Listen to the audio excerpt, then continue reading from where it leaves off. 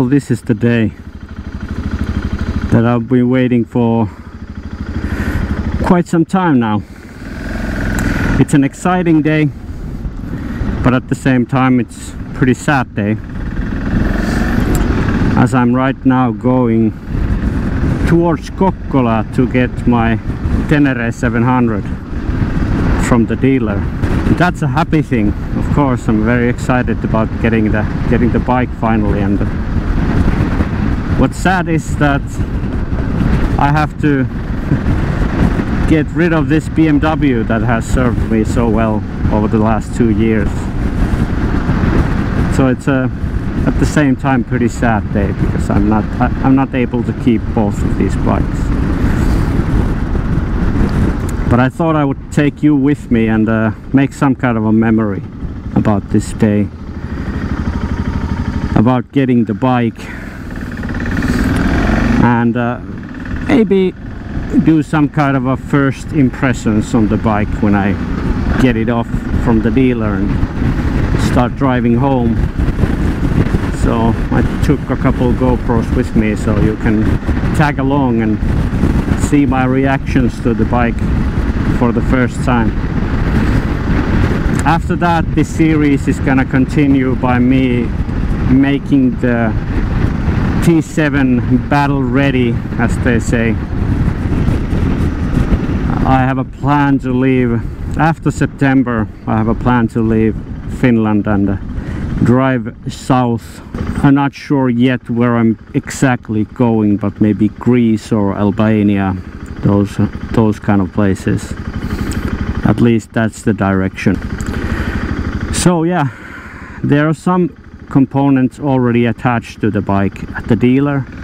I asked for some OEM parts that they have slapped on the on the bike. I'm gonna keep the bike as light as possible and my travel gear is also gonna be extremely light considering that I'm probably gonna be away for six months at least. I will be making a video of that as well. I have the Kriega OS set of bags and uh, I will definitely make some kind of a video packing that up. Okay we are getting close and I'm getting more and more excited all the time. I've never bought a brand new bike and this is gonna be my first. That's the place. They sell Honda, Yamaha, Husky. I will probably not be able to film inside the store but I'll show you the bike. After the deal has been done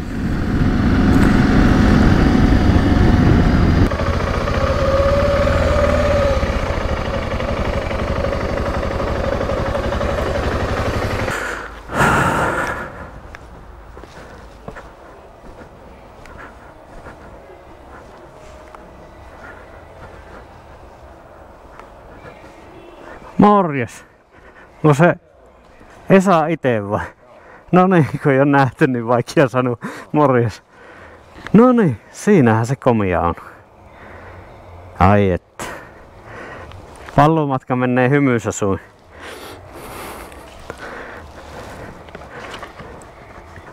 Okay, there it is. I just drove a kilometer off the dealer's yard, so I'm not in their way, but uh, this is where my home trip begins. Let's see how I feel about the bike when I get it moving. This is really my first impressions after buying the bike because I just drove like 40 kilometers an hour to this secluded location that where there's no cars and no unnecessary noise around me. So what I did in the dealer uh, before I got this bike out of there is I installed these rubber pads that are OEM Yamaha parts. And uh, there's an OEM chain guide. And what else? What else do I remember? Oh yeah the center stand. That's the Yamaha center stand. I just thought that it's gonna work because it's the OEM part and I've gotten so used to it so I kind of like to have it even though it's a little bit of a weight on the bike like five kilograms. And then I purchased from the dealer SW-Motech handguards we will see how they fare when I dip the bike eventually but these are weird in the sense that uh, they don't attach from the bars here they are cut here. So they are pretty loose if you bang on the stuff but it's gonna probably give a bit of a resistance to the fall and maybe not bend the bars anyway so. And they look really good. So I have no question that SW-Motech can do their products correctly. And the second or third or I don't know how many parts did I buy? But I bought the OEM uh, headlight guard because I think the OEM headlight is like a thousand euros. It's uh, apparently very expensive so I thought I would just put it in immediately. So that's the bike. It has the OEM bash plate on and it's pretty much bone stock at the moment. Only thing I did is I installed the quad lock mount for my phone so I get a GPS unit in there. But I'm gonna start my way home and I'll talk to you on the way what I feel about the bike and how does it feel to ride. So let's get going. It's pretty light to use the center stand. It's very easy to put on it probably because this is so long here. So it's easy to operate but this might scrape against stuff off-road. We will see how how bad it is but uh, I've heard some people hitting this on stuff but I think it's rugged enough to take it but let's see if it's a problem going forward and I'm also running the OEM tires at the moment I'm probably gonna change those before the long trip that begins this fall but we'll see how I feel about it the front tire does look better suited to off-roading than the Anakee Adventure that I had on my previous bike. That didn't really have any grooves.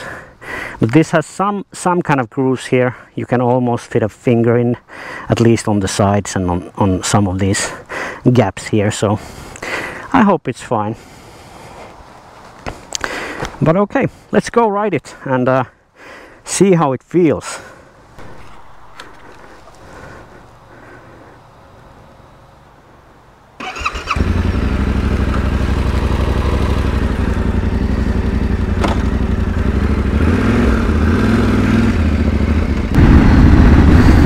Okay, what I'm immediately noticing is the brakes. A lot better than on my bike. They, compared to my 650, no, no problem. It grabs very well and feels tight the moment you touch the brake. I will see how good it is off-road when I eventually go off-road. But I still have a coming, actually they came today, I have the enduro bars from heavy duty to put on this bike so I'm probably installing those before I do any extensive gravel testing. Okay? It doesn't feel like it's gonna throw me off. The power is very smooth very linear. You can feel that there's a lot more power than on my Sertao of course because there is like 24 horsepower and, and way more way more torque. But it feels pretty easy to control so far. And I haven't made any adjustment to the preload or the suspension is completely stock so I'm probably gonna tinker with that after after I've, I've been riding it for a while and feeling it out. But so far just riding here on the tarmac road it's it feels fine. And the, uh, I also ordered the heated grips to be installed before I get the bike so they are pre-installed that I forgot to mention earlier. It's pretty windy out right now so I hope the audio is bearable. I think the seating position is pretty nice.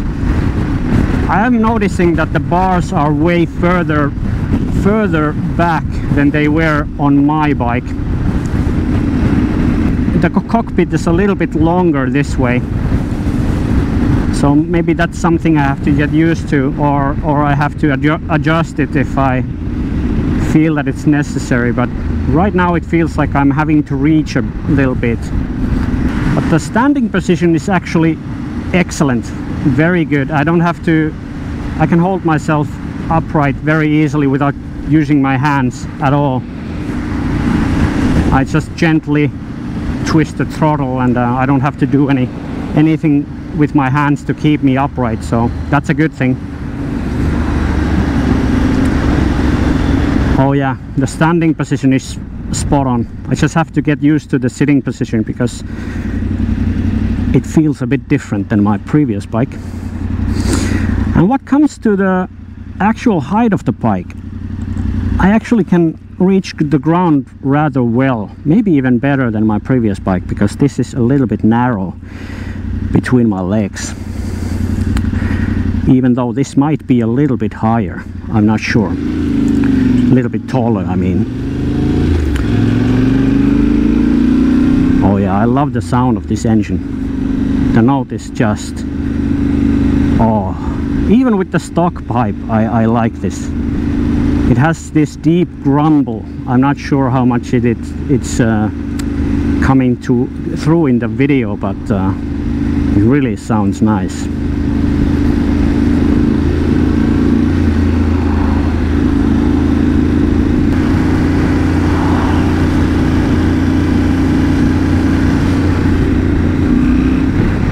Oh yeah. There's some torque on low RPMs it really pulls even though I'm in third gear. And uh, 3000 RPM oh yeah it wants to go immediately.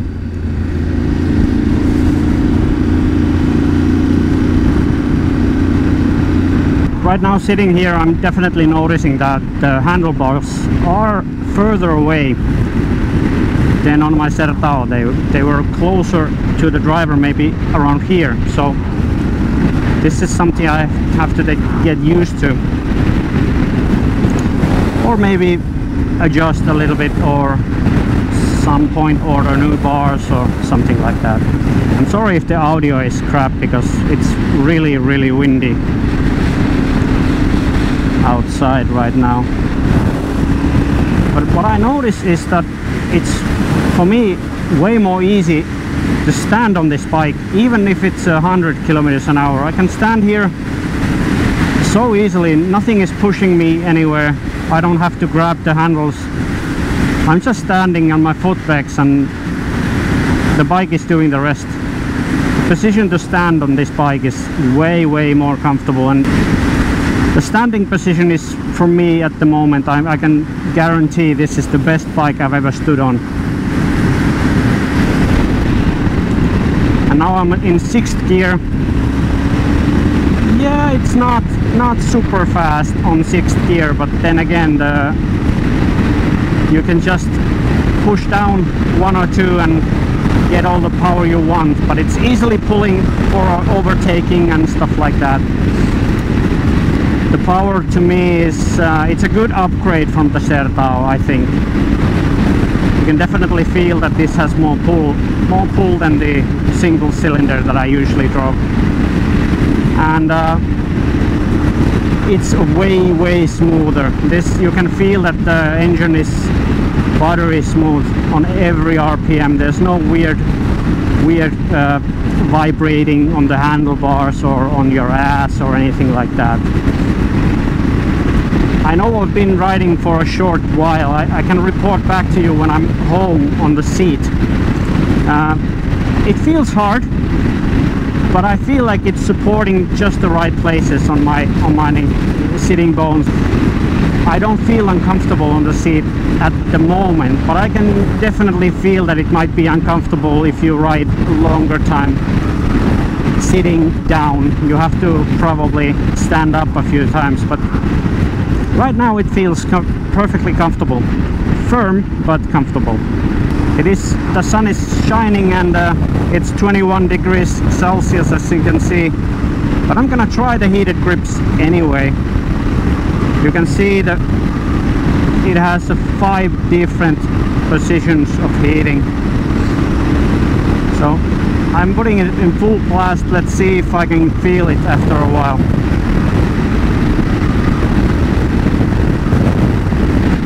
Some people say that the OEM heated grips are actually not that good because they don't heat up at least not as much as the Oxford heated grips do. I'm not even sure what the brand is here, but uh, I will look it up. The OEM branded one ha has only three settings. This has five, and the Oxford has more than more than three as well. I'm not sure how many, how many, but uh, I hope it's warm enough I'm starting to feel that the seat is not the most comfortable. It's very narrow. You feel like you're sitting on the edge, maybe, even on the seat. So I get that this might be uncomfortable after a whole day of riding, especially sitting down. But usually when I travel, I stand up whenever I, have the chance. If I would have a cruise control on this bike I could just let go of the handlebar almost it's so comfortable to stand on this is actually brilliant this is amazing I didn't even know this is possible because on my bike I have to like really keep the handlebars close to me so when I drive fast like 80 kilometers an hour standing but this bike no problem just stand up you're fine. And I would imagine it's even worse. It would be even better actually if it wasn't so windy. I have a very bad headwind right now and it's really gusting and probably you can hear it through the video. Hope, I hope you can't too much but uh, and I hope it's not clipping. But I'm, I'm gonna have a break on the next rest stop and uh, have a short discussion about the bike, how I feel about the bike at the moment. After this maybe one hour drive. So we'll see you there.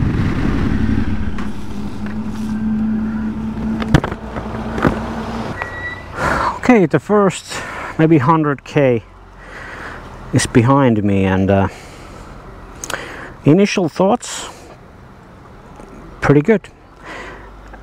Pretty much what I expected most on the most part. Like uh, clearly the worst thing about this bike for long journeys is the seat so it is getting a bit uncomfortable on my ass sitting for an hour but nothing too serious. I can live with it.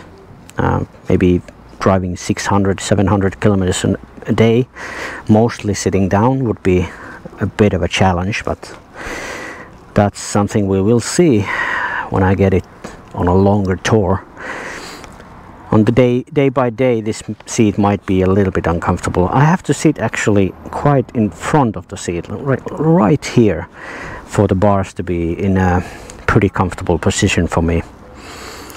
But I think maybe if you turn these a little bit downwards they might come one centimeter closer to me and uh, maybe a little bit down on the bike so it wouldn't be so tall. But the standing position is absolutely 10 out of 10 I had no idea even the bike could be that comfortable standing up. It's it's great even at 80 90 even 100 kilometers an hour. When you stand up it doesn't really want to turn you anyway. You can get stable position on the pegs and you don't have to really keep your hands on the on the handlebars. Maybe at hundred and more than hundred you maybe need a pressure more on the handlebars but uh, at 90 is absolutely perfect. And I had a headwind so that's not gonna make it easier. But yeah the bike feels smooth. I don't feel no jerkiness of the throttle that like some people say that the throttle is jerky but I don't see anything I don't feel anything weird about it. It feels pretty comfortable to me.